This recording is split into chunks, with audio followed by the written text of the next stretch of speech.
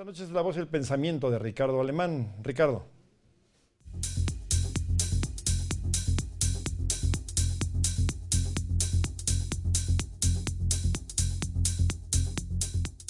Carlos, gracias. Buenas noches. Como lo sabe tu auditorio, ya que lo has reportado de manera puntual, las dos grandes crisis del gobierno de López Obrador tienen que ver con el tema de la seguridad. Nos referimos, por supuesto, a la crisis del fallido operativo en Culiacán el pasado 17 de octubre y a la masacre lamentable de la familia Levarón del lunes pasado.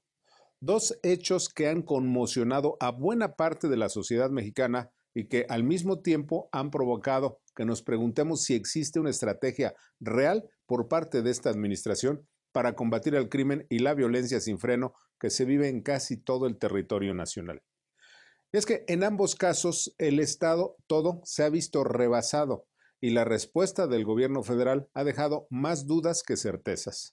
Por esa razón, la crisis no repercute solo a nivel nacional, sino sobre todo en el campo internacional. Por ejemplo, la prensa de países como Estados Unidos, Gran Bretaña, España y Alemania, por citar solo algunos, han comenzado a preguntar si el gobierno de López Obrador sabe lo que está haciendo en el combate contra el narcotráfico. Basta echar una mirada a medios como The Guardian o The Wall Street Journal y como El País para confirmar que los medios internacionales incluso empiezan a ridiculizar al gobierno mexicano. Y eso confirma, Carlos, que la administración de López Obrador está en deuda con la ciudadanía en el tema central que ha sido señalado por años, es decir, el de la inseguridad y la violencia.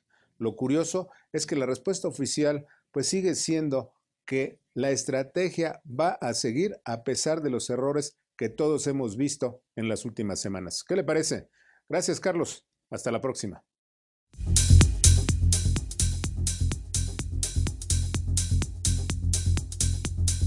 Gracias, Ricardo. Ricardo Alemán, su voz y su pensamiento. Esta mañana.